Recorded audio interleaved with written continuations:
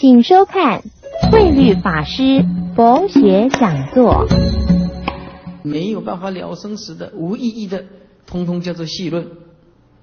哎，所以要知道什么是善巧，什么是究竟。比如说，我们做法会，我一再的强调，水陆法会也好，善巧方便。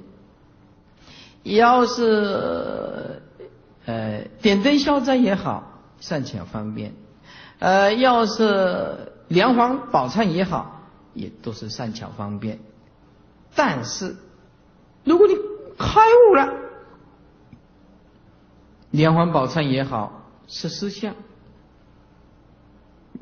你悟到了送连环宝忏，句句都是思相。你悟到了。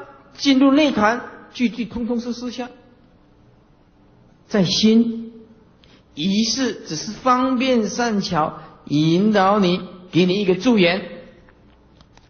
最重要的还是要开悟，还要见性。因此啊，我们要记住啊，听经闻法，平常的听经闻法，累积的智慧。才能够有一天见性，这样做起法会来有意义，念佛起来有意义，做起水路来有意义，拜佛点灯回向有意义，何以故？一切都与实相心相应，通通很有意义。